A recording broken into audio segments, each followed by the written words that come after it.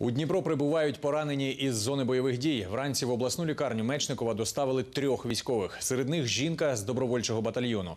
За словами медиків, у неї бойовий стрес. Отримала його під час обстрілу. ранение лица, головы, грудной клетки, конечностей. Жизни ничего не угрожает. С ними одна девушка с правого сектора. Она во время бомбежки получила страшнейший стресс.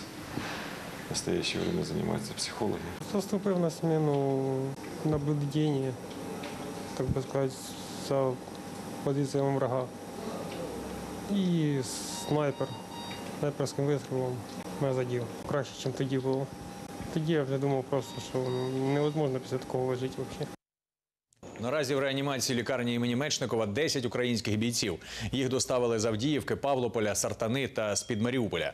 П'ятеро у важкому стані, у двох мінно-вибухові поранення несумісні з життям.